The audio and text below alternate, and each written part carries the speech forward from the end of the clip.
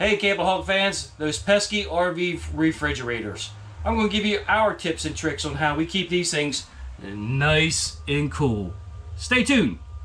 I'm Missy. I'm Mike. And we're, the, Campoholics.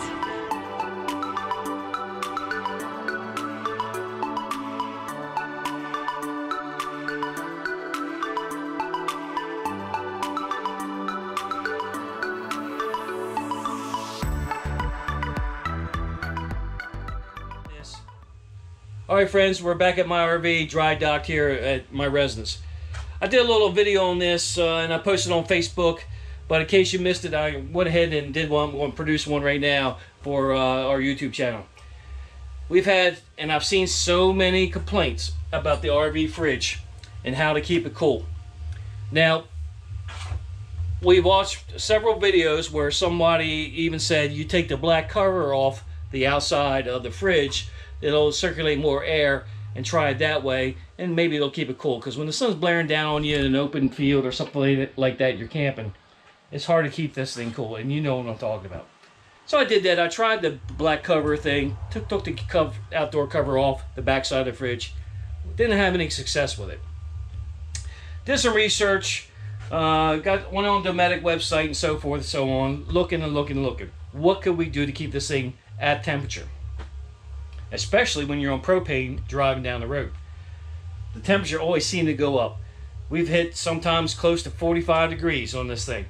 In a panic, you know, you shove it with ice trying to keep it cool. So, just want to show you what we've done. A real simple solution that has worked for us. In this camper, right now, it is indoor, 91 degrees in here. 91 in here. Outdoors, 89. So it's a little bit hotter in here. I've turned the ceiling fan off to give you an idea so you won't uh, be overwhelmed with the fan noise. Here's the trick. It's 33. The fridge has got a, quite a few items in it.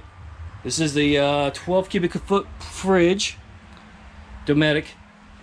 The idea is have a one inch opening around the sides of this refrigerator.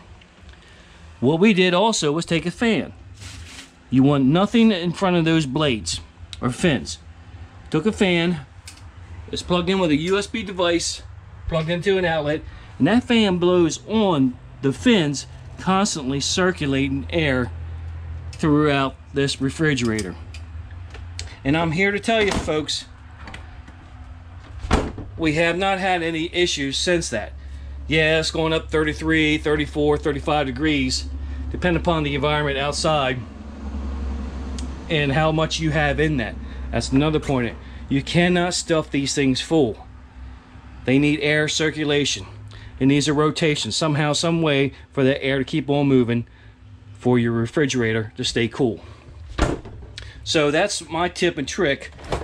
Also, keeping ice out of it. We do not store ice in there. And since we have not stored ice cubes in here, because we bought an ice maker, the frost has stayed off the back.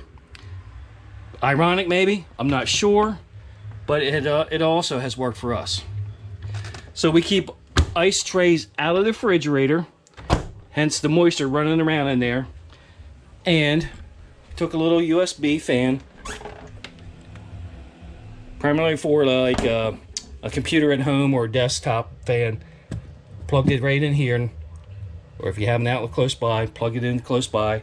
The cord falls right in there, does not keep the uh, refrigerator open, and it works for us.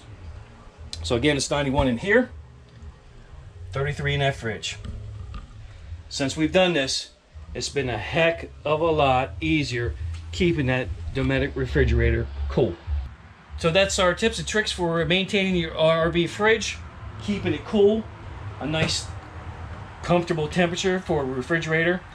Remember, one inch one inch barrier around your items in that fridge. Keep that air moving around. It's getting hot in here, so I'm going to go ahead and wrap this up. Please subscribe below, ring the bell for notifications. Thank you for watching this video. Be a campoholic. Every day is once in a lifetime. See ya.